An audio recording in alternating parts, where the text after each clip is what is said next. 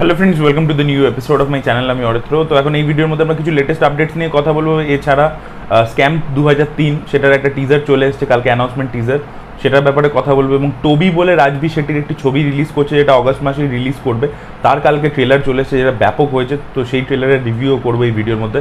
প্রথমে আমরা একটু আপডেটগুলো নিয়ে আগে কথা বলে নিই। তো প্রথমে একটা এক্সক্লুসিভ আপডেট রয়েছে প্রধান থেকে। প্রধান থেকে দুটো আপডেট রয়েছে। একটা তো পেপারে অলরেডি বেরিয়ে গেছে যে এই ছবির মধ্যে আমরা সাবিত্রী চ্যাটার্জিকে দেখতে পেতে চলেছি।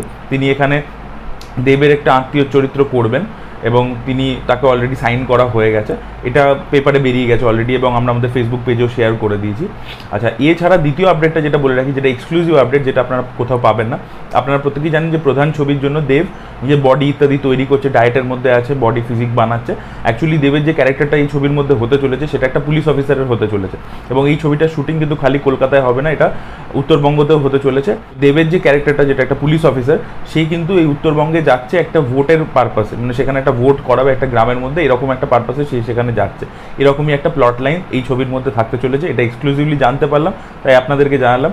আর দ্বিতীয় যে বিষয়টা নিয়ে কথা হলো সেটা হচ্ছে বুমেরাঙের কালকে আপডেট উঠে এসছে, তার মধ্যে একটা আপডেট আমি বহুদিন আগেই আপনাদের সাথে শেয়ার করে দিয়েছিলাম, যে এই ছবিটার মধ্যে আমরা একটা ফিউচারিস্টিক বাইক দেখতে পেতে চলেছি। জিতের যে ইন্ট্রো সিনটা হবে, সেই ফিউচারিস্টিক বাইকটাতে হবে এবং জিত একজন সায়েন্টিস্ট এই ছবিতে। তো সেগুলো আর কি কালকে এই আপডেটগুলো অফিসিয়ালি মেকার্সরা জানিয়ে দিয়েছে পেপারে বেরিয়ে গেছে এবং ফিউচারিস্টিক বাইকটা কীরকম দেখতে হবে, তার একটা ছবিও বেরিয়ে গেছে। সেটা আপনাদেরকে আমি এক্সক্লুসিভলি অনেক দিন আগেই জানিয়ে দিয়েছিলাম। আর এছাড়া আরও একটা ব্যাপার সামনে এসছে উঠে, যেটা খুবই ইন্টারেস্টিং সেটা হচ্ছে যে এই ছবিটার মধ্যে আমরা যে রোবোটিক আর্ম ক্যামেরা হয় সেইগুলোর ব্যবহার দেখতে পাবো, যেটা বাংলা ছবিতে প্রথম। এর আগে তো আপনারা সাউথের ছবিতে বহুবার দেখেছেন, বিদেশি ছবিতে তো হয়েছে থ্রি হান্ড্রেডের মতো ছবিতে ব্যবহার হয়েছে। তো সেটা আবার আমরা বাংলা ছবিতে দেখতে পেতে চলেছি। তো জিৎ কিন্তু একটা সায়েন্স ফিকশন কমেডি ছবি, যেখানে ফ্যামিলি ভ্যালুজ রয়েছে, ইত্যাদি রয়েছে, সেটা করলেও তার মধ্যে কোনো খামতি রাখছে না, প্রচুর খরচা করে করছে। সে ফ্যামিলি ড্রামা জনরার মধ্যেও যদি ঢোকে, সেটাকেও কিন্তু যথেষ্ট লার্জার দ্যান লাইফভাবে করছে। সেটা খুবই ভালো এবং এই টেকনোলজিগুলো যে নিয়ে আসছে, সেটা কিন্তু হ্যাটস অফ এবং আরও একটা জিনিস যদি আপনারা লক্ষ্য করেন যে দেব এবং জি দুজনেই কিন্তু নিজের নিজের জায়গায় দাঁড়িয়ে, এই সময় তো বাংলা ইন্ডাস্ট্রির অবস্থা খুব একটা ভালো নয় বিজনেসের দিক থেকে। কিন্তু তারা কিন্তু নিজেদের মতো করে চেষ্টা করে আছে। দেব বাগাযতীন করছে, যেখানে আপনাদেরকে আমি আগেও বলেছি ভিএফএক্সে প্রচুর খরচা করেছে। জিতকেও আমরা দেখতে পাচ্ছি যে সেও করে যাচ্ছে। তো দুজনেই কিন্তু নিজেদের মতো করে চেষ্টা করে যেটা দেখতে খুবই ভালো লাগছে। দেখা যাক সামনের দিনে কীরকম রেজাল্ট উঠে আসে আর এছাড়া রক্তবীজের কালকে একটা মোশন পোস্টার এসছে। এই রক্তবীজ ছবিটি পুজোর সময় রিলিজ করতে চলেছে। আপনারা প্রত্যেকেই জানেন শিবপ্রসাদ নন্দী নন্দিতারার ছবি প্রথমবার পুজোয় মুক্তি পাচ্ছে। এটা খাকড়াগড়ে যে ব্লাস্ট হয়েছিল, সেই বিষয়বস্তুর ওপর হতে চলেছে। এখানে আমরা ভিক্টর ব্যানার্জিকে প্রণব মুখার্জির চরিত্রে দেখতে পেতে চলেছি। এবং যে মোশন পোস্টারটা সেটা কিন্তু খুব সুন্দর করা হয়েছে। এখানে বিভিন্ন ওয়ার্ডস ভেসে আসছে। যে ওয়ার্ডসগুলোকে আপনারা যদি জয়েন করেন, তাহলে আপনারা বুঝতে পারবেন এই ছবির বিষয়বস্তু কী হতে চলেছে। এখানে কোন কোন অ্যাঙ্গেল থাকতে চলেছে টেররিজম ইত্যাদি, ঠিক আছে পলিটিক্স সব কিছু ওখানে দেখানো হয়েছে এবং সেই ওয়ার্ডসগুলো কোথাও গিয়ে জুড়ে ভিক্টর ব্যানার্জির মুখটাও হচ্ছে, সেটা দেখতে খুব ইন্টারেস্টিং লাগছে এবং পিছনে যদি বিজিএমটা আপনারা শোনেন, সেটা খুব ইন্টেন্স রাখা হয়েছে, সেটাও ছবির ফ্লেভারটা দিচ্ছে স্পেশালি বিজিএমটা যেখানে শেষ হচ্ছে মানে মোশন পোস্টারটা যেখানে শেষ হচ্ছে, সেখানে যে বিজিএমটা আছে, সেটা আপনাকে একটা ফিল দেবে যে হ্যাঁ এটা টেররিজম নিয়ে একটা অ্যাঙ্গেল থাকতে চলেছে এবং এই ছবির মধ্যে কিন্তু অ্যাকশন ইত্যাদিও হয়েছে বম্বে থেকে অ্যাকশন ডিরেক্টর নিয়ে আসা হয়েছে, এটা নিয়ে অলরেডি পেপারে আর্টিকেল বেরিয়েছিল।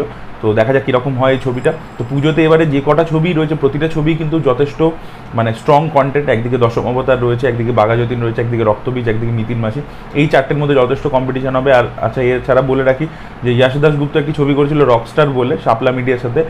মেকার্সরা প্ল্যান করছে যে সেই ছবিটাও নাকি পুজোতে মুক্তি পেতে পারে। দেখা যাক সেই ছবিটা রিলিজ করলে কীরকম রেসপন্স পায় দর্শকের কাছে। আনন্দ দেল রায়ের ছবি তেরে ইস্কমে যেটা রাজনার ইউনিভার্স থেকে হতে চলেছে, সেই ছবির শুটিং শুরু হবে নভেম্বর মাস থেকে এবং পরের বছর মিডলে এই ছবিটাকে রিলিজ করার প্ল্যান করছে মেকার্সরা তো এখানে শঙ্কর বলে একটা ভাইলেন্ট ক্যারেক্টার প্লে করবে ধানুষ এবং এখানে লাভ স্টোরির সাথে সাথে অ্যাকশন ইত্যাদিও আমরা দেখতে পেতে চলেছি। দেখা যাক এই ছবিটা বক্স অফিসে কীরকম পারফর্ম করে। আচ্ছা এবার আমরা কথা বলব যে স্ক্যাম দু হাজার তিনের টিজার নিয়ে। তো এই টিজারটা ব্যাপক হয়েছে। এখানে কিন্তু আমরা তেলগিকে দেখতে পাই না বাট তাকে ব্যাকশট থেকে দেখায় এবং আরও একটা জিনিস লক্ষ্য করবেন হানসাল মেহতা যেটা একটা বিউটি এবং হানসাল মেহতা এটা ওয়েব স্পেসের মধ্যে করছে।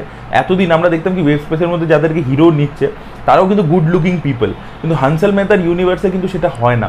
হানসাল মেহতার ইউনিভার্সে কদিন আগে এ করল আর কি নেটফ্লিক্সে যে স্কুপ বলে কাজটা করল। সেখানেও দেখবেন যে কারিশ্মা তান্না যার সাথে অ্যাফেয়ারটা চলছে, যে লোকটার সাথে, তাকে কিন্তু খুবই অ্যাভারেজ লুকিং দেখতে। তার কিন্তু একটা পঞ্চ আছে ঠিক আছে মানে পেট বেরিয়ে আছে। সেরকম একটা লোকের সাথে কিন্তু অ্যাফেয়ার আছে। আগেও কিন্তু এরকম একদম একদম সুপার বিল্ড বডি যেটা বলিউডের একটা ডেফিনেশন কারণ সব সাধারণ মানুষের তো ওরকম চিজেল্ড বডি হয় না যে মডেলিং করছে না বা সিনেমা করছে না।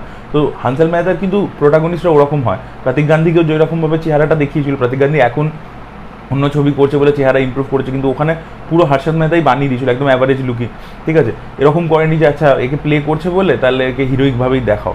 যেটা আগে হিন্দি ছবিতে হয়ে আসতো। এবং এখানে তেলগিকে দেখাচ্ছে একদম প্রপারলি তেলগিকে যেরকম তার চেহারা ছিল, মোটা ছোটা সেরকমই দেখাচ্ছে। আর ডায়লগ এখানেও একটা মনে হয় হিট হতে চলেছে। জায়গার পয়সা কামানো এত রিস্ক লেনা পড়ে পড়েগা ডার্লিং ওই জায়গাটা ব্যাপক লাগছে। আর এবারে স্ক্যামটা আরও বড় হতে চলেছে। এবারে কিন্তু হানসাল মেহতা ডিরেক্ট করবেন না, তিনি শো রানার হিসেবে থাকবেন ডিরেক্টর অন্য একজন। দেখা যাক কীরকম হয়। মোস্ট অ্যান্টিসিপেটেড শো ফার্স্ট পার্টটা বিশাল হিট ছিল সেকেন্ড পার্টের জন্য এই টিজারটা যেরকমভাবে আসে আমরা দেখতে পাই মানে জাস্ট আমাদেরকে আইডিয়া দেওয়া হয় ওয়ার্ল্ডটার ব্যাপারে। সেটা কিন্তু যথেষ্ট ইন্টারেস্ট জায়গায় আমাদের মধ্যে এবং দেখার জন্য আমরা প্রত্যেকেই মুখিয়ে রয়েছে। আমার মনে হয় এই শোটা বিশাল বড় হিট হবে। আর লাস্ট আমরা কথা বলব যে টোবির ট্রেলার নিয়ে। তো টোবির ট্রেলারটা জাস্ট ব্যাপক হয়েছে ব্যাপক হয়েছে। কী নিয়ে কথা বলব? প্রথম হচ্ছে এই যে প্রোডাকশন হাউসটা কেভিএন এটা কিন্তু নেক্সট হোমবালে ফিল্মস হবে বলে আমার মনে হচ্ছে। কারণ এরাও, দেখুন গারুডা কামানা করেছিল রাজবি শেট্টি, তারপর রাজবি শেট্টিদেরকে নিয়েছে। রাজবি শেট্টি এটার স্ক্রিপ্ট লিখেছে এবং অ্যাক্টিং করছেন। ডিরেকশন উনি দেননি।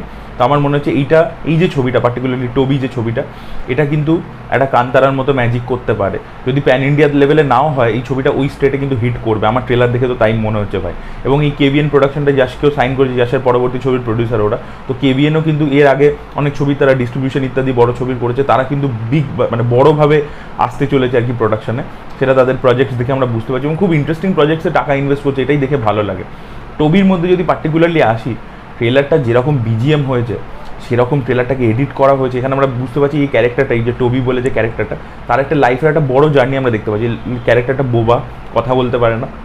তো প্রথমে সে গুন্ডা ইত্যাদি থাকে, সে মারামারি করে ইত্যাদি করে, এবং তারপরে তার জীবনে একটা মেয়ে আসে, তার জীবনে ভালোবাসা আসে, সে একটা ট্রান্সফরমেশন আছে ক্যারেক্টারটার মধ্যে, সে ভালো হয়ে যায় এবং তারপরে কোথাও কি পরে আমরা একটা তার, একটা এজেড লুকও দেখতে পাচ্ছি, যেখানে সে এসে লোকের থেকে রিভেঞ্জ নিচ্ছে। এবং আরও একটা যদি দেখেন, এখানে একটা একটা কানেকশন দিয়েছে, একটা মাইথোলজিক্যাল কানেকশন দিয়েছে। ওখানে, ওরা তো রুটেড গল্প বলে, ওদের তো ওখানের মধ্যে কালচারটা বারবার রিফ্লেক্ট করে। দেখবেন শুরু হয় ট্রেলারটা বলছে যে একটা মানে যদি গোটকে বলি দিতে, বলি দেওয়ার জন্য এনেছে এবং সে যদি পালিয়ে যায় একটা স্কেপ গোট যদি পালিয়ে যায় এবং তারপরে যদি বাই চান্স সে ফিরে আসে, সে তখন কিন্তু দানব হয়ে যায়। তখন কিন্তু সে যেন ফিরে না আসে। ফিরে এলে কিন্তু সে প্রত্যেককে আর কি নষ্ট মানে ধ্বংস করে দেবে আর কি। তো এটাই কিন্তু ছবিটার গল্প হতে চলেছে। এই লোকটাও হয়তো একটা গুন্ডা ইত্যাদি, ঠিক আছে? তারপরে তার জীবনের মধ্যে একটা ট্রান্সফরমেশন আসে, ভালোবাসা আসে। এবং তারপরে তাকে একটা কোনো কেসের মধ্যে ফাঁসিয়ে দেওয়ার চেষ্টা করা হয়। তার পুরো কেরি মানে পুরো লাইফটা ডিস্ট্রয় হয়ে যায়। তারপরে সে ফিরে এসে রিভেঞ্জ নিচ্ছে। এবার, এবারে যখন সে ফিরে এসেছে, সে প্রচণ্ড ডেডলি হয়ে গেছে, তার আনস্টপেবল হয়ে গেছে।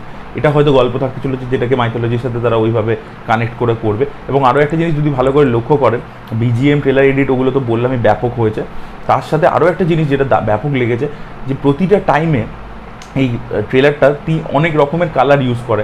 যখন এই টবি একদম সাধারণ একটা মানে এ ছিল, যখন মারামারি করতো, খালি এ করতো, গুন্ডামি করতো, তখন কিন্তু তার লাইফটা খুব মানে কালারটা একটা মান্ডেন কালার ঠিক আছে? মানে লাইফের মধ্যে সেরকম কালার নেই। যেখান থেকে মেয়েটা আসছে, দেখবেন খুব কালারফুল হয়ে যাচ্ছে ব্যাপারটা। আর যেখানে টবি বদলা নিচ্ছে, সেখানে লাল লাইটটাকে বেশি করে ব্যবহার করছে, লাল কালারটাকে এমফাসিস করেছে, কারণ লাল হচ্ছে রিভেঞ্জের রং। তো সেই জিনিসটার উপরে ফোকাস করেছে ভিজুয়াল স্টোরি টেলিংয়ের উপর ফোকাস করছে, ব্যাপক লেগেছে ট্রেলারটা জাস্ট ব্যাপক। এবং রাজবি শেট্টিকে যেভাবে প্রেজেন্ট করে, ভাই, আমরা, আপনারা দেখুন, আমাদের বাংলা ইন্ডাস্ট্রি কত বাজে।